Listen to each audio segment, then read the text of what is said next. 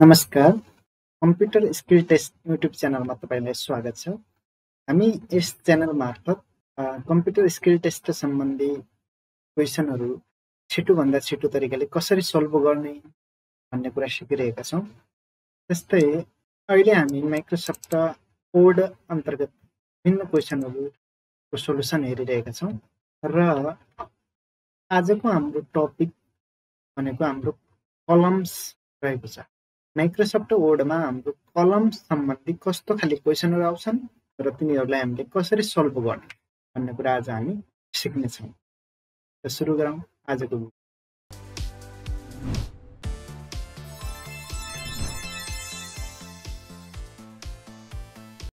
पहिलो क्वेसन छ हाम्रो मेक टु कलम अथवा थ्री कलम फर सेकेन्ड प्याराग्राफ तपाईँको जुन डकुमेन्ट छ त्यसमा दुईवटा कलम अथवा तिनवटा कलम बनाउनुहोस् भनेर भन्न सक्छ अब यो सबै काम हाम्रो सेटिङ भन्ने जुन हामीले फाइल बनाएको छौँ त्यसमा भयो।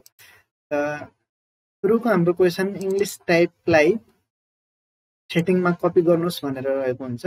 हामीले इङ्ग्लिस टाइपलाई कन्ट्रोल ए कन्ट्रोल सी अनि यसलाई क्लोज गरिदिने। कन्ट्रोल ए कन्ट्रोल सी गरिसकेपछि जुन सेटिङ छ त्यो सेटिङमा गएर हामीले यसलाई पेस्ट गर्ने। क्वेसनले के भनेको छ भने अब हेरौँ। दुई अथवा तिनवटा कलम बनाउने। र कलम बनाउनको लागि हाम्रो माइक्रोसफ्ट वर्डमा लेआउट अब दुई हजार सेभेन छ भने हाम्रो दुई हजार सात अफिस भर्जन छ भने पेज लेआउट होला है। दुई हजार सातभन्दा माथिल्लो भर्जन हुन्छ भने लेआउट र तपाईँले पहिला कलम निर्धारण गर्दाखेरि पहिला प्याराग्राफलाई पूर्ण रूपमा सिलेक्ट गर्ने। है सिलेक्ट गरिसकेपछि कलममा जाने। कलममा गइसकेपछि अब कति भनेको छ त? टु थ्री होइन? टु भनेको छ भने। टु। तपाईँको दुईवटा कलम भइसक्यो। यसलाई तपाईँले अझ राम्रो देखाउन चाहनुहुन्छ भनेपछि कन्ट्रोल जे जस्टिफाई गर्न सक्नुहुन्छ। त्यस्तै तिनवटा भनेको छ भनेपछि कलममा जाने अनि थ्री। तिनवटा कलम पनि बनाउन सक्नुभयो। है? फर्स्ट क्वेसनको उत्तर हाम्रो यो भइहाल्यो। कलम दुईवटा अथवा तिनवटा ल्याउनुहोस् भनेपछि यसरी हामीले राख्न सक्छौँ। तर यहाँ सेकेन्ड प्याराग्राफ भनेको छ है हाम्रो हामीसँग एउटै प्याराग्राफ छ। सेकेन्ड प्याराग्राफ छैन भने तपाईँले यसैलाई कन्ट्रोल ए यो जुन प्याराग्राफ छ तपाईँको यसलाई कपी पेस्ट गरेर दोस्रो प्याराग्राफ पनि यसैलाई बनाउने। तपाईँलाई टाइप यति नै गर्नुभएको छ तर सेटिङ गर्नुपर्ने दुई तिनवटा प्याराग्राफ थप्छन् भनेपछि जुन प्याराग्राफ छ त्यसैलाई कपी गरेर धेरै प्याराग्राफ बनाउने। त्यसो गर्दा तपाईँको कुनै गलत हुँदैन है? ओके र सेकेन्ड प्याराग्राफ भनेको अवस्थामा हामीले यसरी पहिला दुईवटा बनाउने त्यो जुन प्याराग्राफ थियो अनि त्यसलाई सिलेक्ट गरेर आवश्यकता अनुसार यसरी हामीले कलम निर्धारण गर्न सकिन्छ लेआउटबाट कलम ओके नेक्स्ट क्वेसन हेरौँ हामी। Make unequal column white unequal column white भनेको कलममा गएर लेफ्ट अथवा राइट जुनसुकै एउटा चुज गर्न सक्नुहुन्छ है? त्यसलाई अनइक्वल भन्छ। अनइक्वल भन्नाले एउटा ठुलो एउटा सानो भन्नु खोजे हो? लेफ्ट चुज गरे नि भयो तपाईँले राइट चुज गरे नि भयो। लेफ्ट राइट भनेर नै सोध्या छ भने त तपाईँले त्यही आधारमा चुज गर्नु पऱ्यो तर लेफ्ट राइट भनेर सके हाम्रो सोध्दैन अलिक झुक्क्याउनको लागि अनइक्वल भयो जस्तो हामीले टु गरेमा त यहाँ टु त टु गरिसकेपछि दुइटै बराबर छ कलमको साइज त्यही भएर अनइक्वल कलम भनेर सोधिरहन्छ त्यो अवस्थामा लेफ्ट अथवा राइट हामीले चुज गर्न सक्छौँ। है यो थियो unequal column. Next question make five column and place line between तपाईँको अब जुन प्याराग्राफ भनेको छ अब फर्स्ट र सेकेन्ड जुन चाहिँ छ त्यसलाई सिलेक्ट गर्नुहोस् र पाँचवटा कलम बनाउनुहोस् भनेर।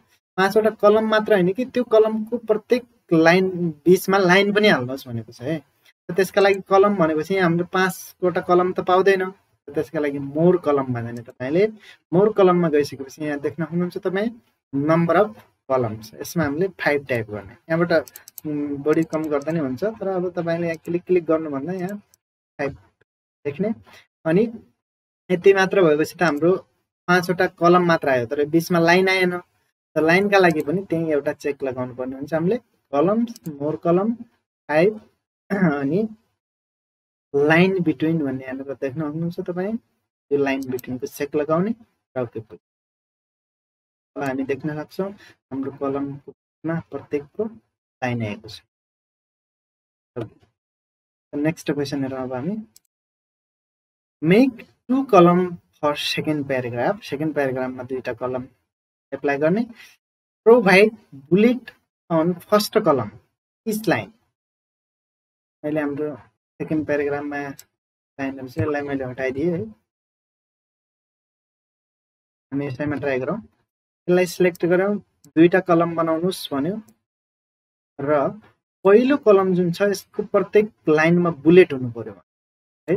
बुलेट कसरी राख्ने भन्ने कुरा हामीले प्रिभियस भिडियोमा पनि चर्चा गरिसक्यो होम ट्याबमा बुलेटमा जुनसुकै एउटा राख्ने खालको है। नाम त क्या छ भने जस्तो ह्यान्ड बुलेट भनेको छ भने ह्यान्ड यसरी चुज गर्ने नत्र जुनसुकै एउटा बुलेट राख्न पायो भने भयो है।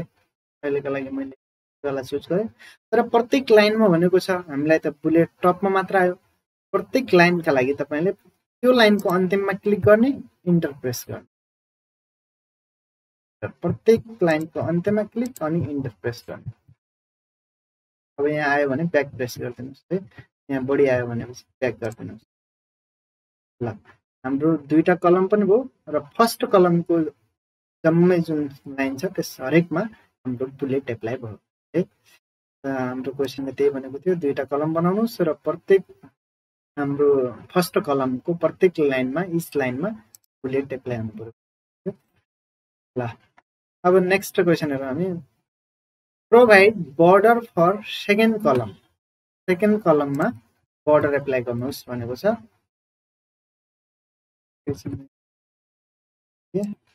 यसमा दुईवटा कलम बनाऊ हामी। सिलेक्ट कन्ट्रोल ए गर्दा नि भयो। तपाईँसँग एउटै प्याराग्राफ छ भने दुईवटा छ भने यसरी सिलेक्ट गर्ने। लेआउट कलम कन्ट्रोल जे बराबरी देखाउनका लागि है जस्टिफाई अब दोस्रो कलम हाम्रो कलममा बोर्डर राख्नुहोस् भनेर भनेको छ। र त्यसका लागि हामीले होम ट्याबबाट यहाँ बोर्डर राखेका थियौँ। पहिला त कुनै पनि टेक्स्टमा बोर्डर राख्नको लागि यहाँबाट बोर्डर राख्ने गरेका थियौँ। आउटसाइड बोर्डर गरेर यसरी बोर्डर राख्न सकिन्छ भनेको थियौँ तर यसमा बोर्डर राख्दाखेरि यस्तो लुक्स आइरहेको छ हेर्नुहोस् पुरा बोर्डर छ नि यहाँबाट। यो प्याराग्राफ एउटै भएकोले यस्तो खाले देखायो त्यही भएर कहिले पनि हामीले कलममा बोर्डर राख्नु पर्यो भनेपछि यो बोर्डरबाट राख्न सकिँदैन है? त्यसका लागि तपाईँले इन्सर्टमा जाने सेप छ। सेपसम्म जाने अनि एउटा रेक्टेङ्गल लिएर आउने है? रेक्टेङ्गलबाट यसको ठ्याक्कै माथि ड्र्याग गर्ने। र यो बिचमा कलर आयो। फर्मेटबाट सेप फिलबाट नो फिल गर्ने। ल यो हो यस कलमका लागि बर्डर अन्य कुनै विकल्प छैन त्यहाँबाट हामीले अन्तबाट बर्डर राख्न सक्दैनौँ। सेपबाट इन्सर्टबाट सेपबाट कुनै पनि सेप लिएर त्यसमाथि होल्ड डाउन गर्ने र त्यसभित्र कलर चाहिँ हामीले सेप फिलबाट फिल अब बाहिरको लाइनको कलर पनि यदि तपाईँ ब्ल्याक राख्न सक्नुहुन्छ आउटलाइनमा गएर ब्ल्याक कलर चुज गर्न सक्नुहुन्छ। तर हामीलाई त्यस्तो जरुरी छैन तपाईँ कुनै पनि कलर भयो भने त्यहाँ कलर प्रिन्टर हुने होइन। भयो भने केही फरक परेन बोर्डर देखाउने हामीले बोर्डर भइहाल्छ है। ओके त यसरी कुनै पनि कलम अब पुरै कलममा राख्नु दुइटै कलममा राख्नु भन्यो भने अब फरक फरक राख्नु पऱ्यो भने यसै गरी नत्र एउटै राख्नु पऱ्यो भने नै ठुलो बनाएर यसरी पनि तपाईँले राख्न सक्नुहुन्छ। ओके यसलाई अहिले मैले डिलिट गरिदिएँ है। नेक्स्ट क्वेसन हेरौँ अब।